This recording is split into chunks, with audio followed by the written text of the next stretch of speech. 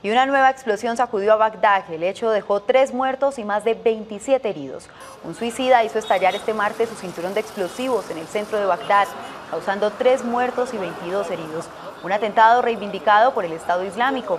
El ataque iba dirigido contra trabajadores congregados en Tayaran Square, una plaza muy concurrida de la capital.